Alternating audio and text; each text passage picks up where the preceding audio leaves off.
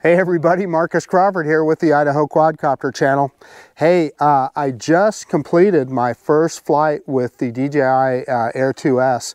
Very impressed with it. Uh, went out over the canyon and, and just shot in 4K 30 frames per second.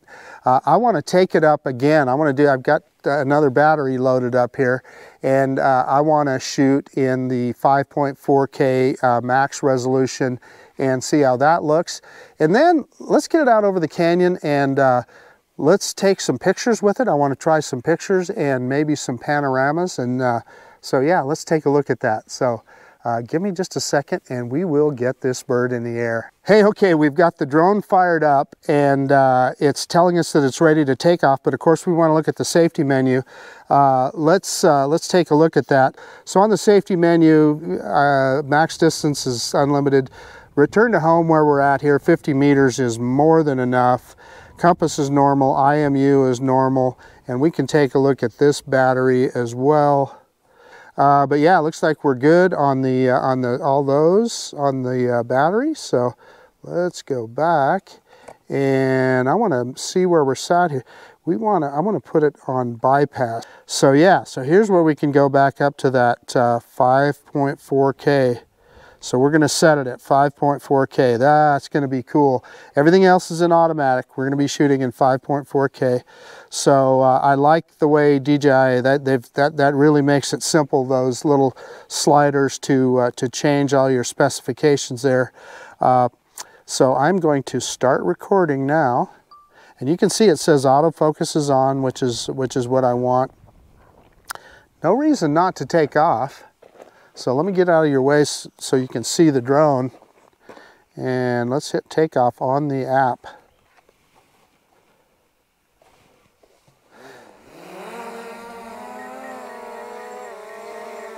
And DJI asks that you go up, I believe, about seven meters or so to let the drone take a look at its landing area. So that's what we're doing. We're going straight up.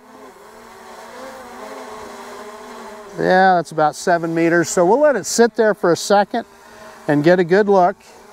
And we'll see if we can get a precision landing when we come back. Uh, and then in the meantime, let's, that should be long enough. Let's bring it down. And it comes down pretty quick and yaw around. And let's rock it back and forth. You can see that big uh, one inch camera or one inch uh, sensor on that camera and the it the, uh, seems to be working well. So I'm going to uh, do a, a, our usual dronie here, but this time let's throw it in sport mode and let's see if we can really get this baby to rip. So uh, reverse and up now, reverse and up. Holy cow, they weren't kidding. Let me drop the camera down there. Uh, I got to tell you, I got to give credits to my friend uh, Mike DeCurcio and Matt Cundiff. They told me to do that. Uh, and yeah, it really, man, that baby takes off. Holy cow. yeah, and it sounds like a sport bird when you do that. Oh man, that really ripped. Uh, I got to admit, I was uh, a little bit shaky on the sticks there and uh, yeah, anybody that, uh, that'll startle you a little bit, so make sure you're prepared for that. Okay, so let's go out here. And again, we are in sport mode, and let's try that gimbal out, see if we can get that gimbal to kick. And it's not, so that's an improvement that DJI made with this guy. One of the, one of the complaints about the, uh, the Mavic 2 Pro, and I remember initially on the Mavic Air 2, is that in sport mode it would kick down that gimbal uh, so that it, wasn't obstructed by the, uh, uh, the, by the top of the drone body. So I'm moving us out here uh, to a spot where maybe we can take some pictures. Let's, uh, we might as well get down here and get a little, get, get a little bit more scenic while we're, while we're moving the drone uh, upriver is actually the direction that we're going. Get a good look at the uh, at the side of the uh, canyon there, and you can hear above me. I'm sure you could probably hear it. There's ravens uh, squawking above me. I'm sure this is probably nesting season, so I'm sure that might have something to do with that. So let's move this guy out over the canyon. This thing is, man, in sport mode, you know, I've been flying the Mini. This guy uh, is definitely faster, particularly in sport mode like we are now. And of course, today is just a beautiful day to fly. So I'm gonna pick that gimbal up just a tad. Not quite the, a third there, but I think that looks a little better. Let's move sideways a little bit more. And uh, I am going to stop recording and let's go into uh, uh, take, take some pictures here. So I'm going to click on the little film strip there on the right hand side and I'm going to click on photo and uh, I well you know what we'll try a regular uh, photo and we'll try a smart photo so There is a picture. And let's go back in there again. And let's go to Smart Photo. Now, Smart Photo, what that does is it enhances it uh, computational photography, it figures out the, the, the, way to get the best colors and the best look in your picture. For a guy like me, it works really good. So let's try that. And we'll see how that looks. Let's, uh, let's go ahead and yaw around the other direction. And we can do the same thing looking downriver. And this will be more with the sun at the camera's back uh, when we face the other direction here. Down to 75% battery.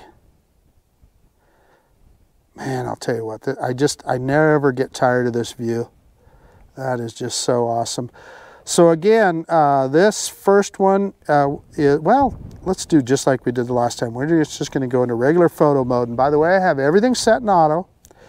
Uh, so what you're seeing is what the uh, what the drone, the camera on the drone thinks it should set everything at. So there is a picture just in single mode. Then we'll go back in there and we'll put it in smart photo. And we'll take the same picture and uh, I hopefully can set them side by side on the screen uh, so that you guys can see them. So uh, as long as we are here, let's go back in there and uh, I think we can scroll down here and maybe do uh, some panos. Let's try some panorama shots. Uh, so I'm not going to do a sphere, uh, but let's let's do the 180, the wide angle, and the vertical. So here is a 180. You know what? Before we do that, we, we've, we've taken these kind of pictures from this uh, spot, from that spot before. Let's do something a little different. I'm thinking this clear through. Let's go back. We're going to go back into uh, uh, video mode.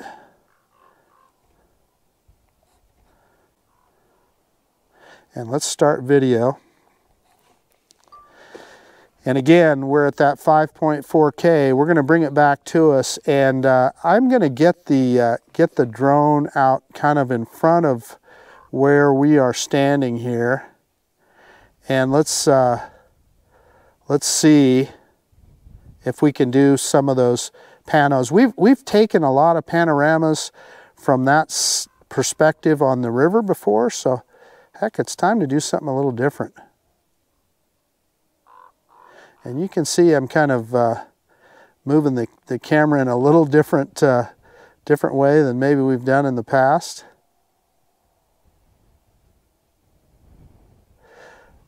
Uh, uh you know, coming up on the uh, on the drone here and just uh, looking at it in a little different angle.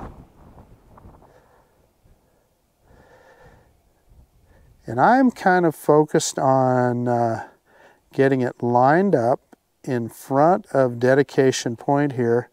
And that is where this, again, yeah, no, we can't, I, I just tried zooming in uh, 5.4K and you can't do it. Okay, so that is facing right about where we're standing here on the, uh, you can see the trails there coming in, so let me center it up just a little. And uh, let's just, let's try some panoramas from there. So we're gonna stop recording, go click on that film strip again, go back uh, to the bottom here into pano and let's do a 180 first.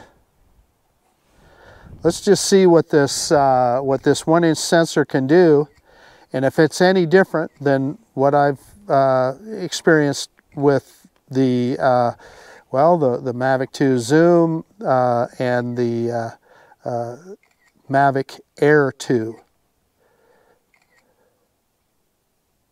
Wow, it's, it's taking a bunch of pictures, so this should look pretty good.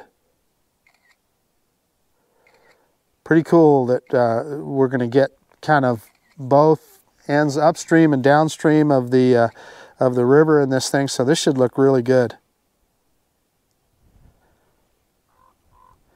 And it's stitching it together. You can look at that white ring going out the on the red record or shutter button on the side.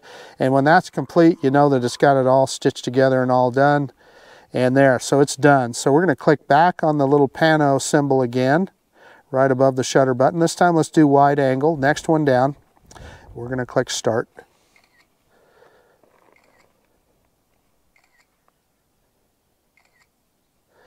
And that should look pretty good too. It should take a bunch of pictures here. I am always just amazed by the technology they build into these uh, these drones. So it's about got that stitched together. And there we are. So let's go ahead now. Last one we want to do is a vertical. So click on vertical here. And we're going to click start. That should take just a second.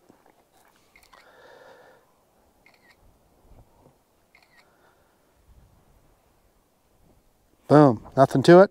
And now it'll stitch that together and looks like it's got that done. So, uh, so let's go back in there and uh, let's uh, go back into uh, video mode and start it back up. And uh, let's see if we can just get some little different video today. So again, we're in sport mode, so, but we're up there where we're really not gonna need any uh, obstacle avoidance. There's nothing up there for us to hit. Uh, so we're in good shape. Let me see if I can angle it towards us here. There we go. And uh, boy, that drone is coming and I'm gonna try and drop the gimbal down as we go over. There we are. And then let's pick it back up. And there we are, uh, that's up the trail that you walk down to get here. And you can see there's still a car there at the parking spot, but I haven't seen those people. I, I don't know. Boy, I'll tell you what, this thing is a, this thing is a beast in sport mode. It's fun. I'm having a blast. So I'm anxious to see how this, uh, again, when, when I get the SD card off, uh, how this video is going to look. And that drone is hauling the mail.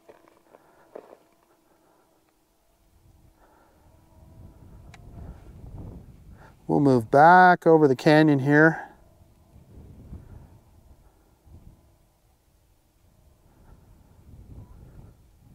And again, let's see, we're down to about 36% battery, so we'll fly until she uh, until she goes into uh, return to home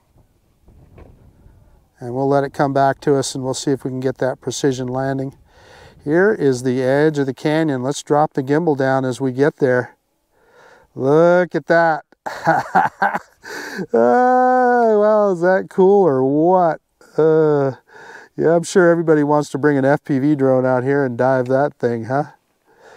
Uh, so, uh, yeah, so uh, Mike DeCurcio, uh, Billy Kyle, Ken Dono, any of you guys with that FPV drone uh, want to come out here and fly that, uh, come on, I'll bring you out here. So, you know, often we don't go out here to this opposite side of the canyon. So let's, let's just do that. Let's go full tilt forward here. And, and, and you know, the speed just kind of makes it fun, quite frankly. You can get there uh, pretty quick. We're down to 27% battery, and you can see we're almost in the uh, yellow zone. There it goes. It's going to tell us it wants to come home any minute now. Yeah, so we're just going to let it do that. Ooh, strong wind warning. Well, we're right at that. We're just going to let it come home. And it's coming home. And it's not wasting any time. Let's get that, let's bring that gimbal down a little bit.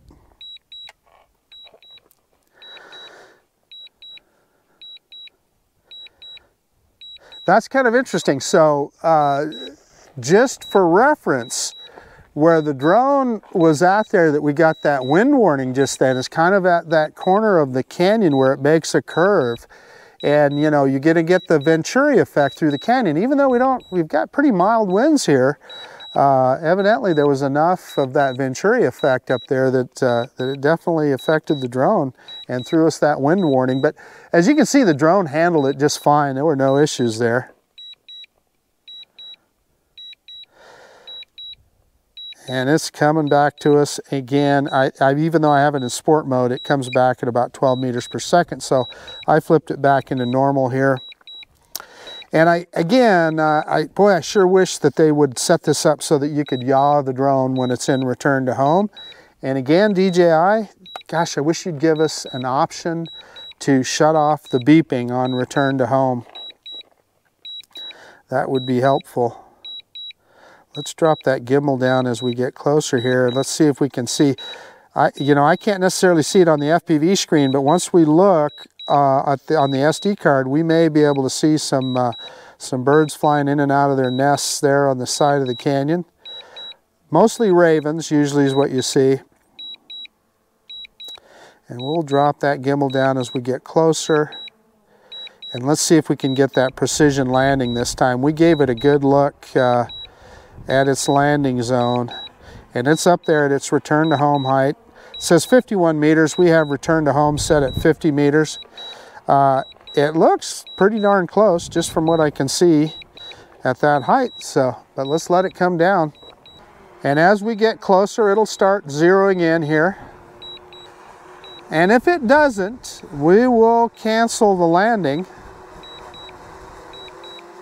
Yeah, and I don't think, you know what? Oh, there it goes. Look at that, last minute. Well, I was getting ready to cancel. And uh, so it's moving over a little bit. And yeah, I'm gonna call that a win. We got, uh, we've got uh, two legs off the pad and two on. So let me see if you, yeah, you saw that on, on the uh, GoPro there. So yeah, we're good to go. Let me, uh, let me get this guy shut down and, uh, and we'll do a quick conclusion and kind of talk over what we saw. And oh yeah, I'm gonna remember to shut off video here. So stop recording on the app. And uh, yeah, let me get everything shut down.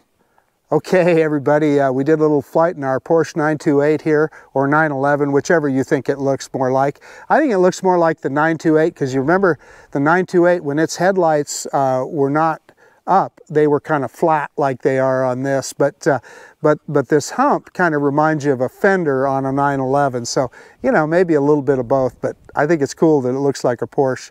Uh, in any case, uh, I think this flight was more fun than the first flight I did with it because uh, we had it in sport mode most of the time and and we did uh, we did our dronie in sport mode uh, which again, I want to shout out uh, Matt Cundiff and Mike DeCurcio, Philly Mike. They both told me about that and said, you've got to try it. So, uh, so I did. And yeah, it's everything they said it was. Uh, and in fact, yeah, you probably saw me wiggle there. I got a little nervous on the sticks when, when it took off so fast. Uh, but in any case, we went out over the canyon, we tried some pictures, we tried both regular and smart pictures. Uh, hopefully we, you'll see a difference. I know I've seen a difference in the past, so I'm anxious to see what they look like with this one inch sensor. I'm sure they're gonna look really good. And then of course we did the, uh, the 5.4 uh, video and, uh, and yeah, just kind of flew the guy around and had some fun. So I hope you guys enjoyed it as much as I did because I, I gotta tell you, I just had a blast. Uh, in any case, this is Marcus Crawford with the Idaho Quadcopter channel out. And if you like this kind of content, please consider subscribing to my channel.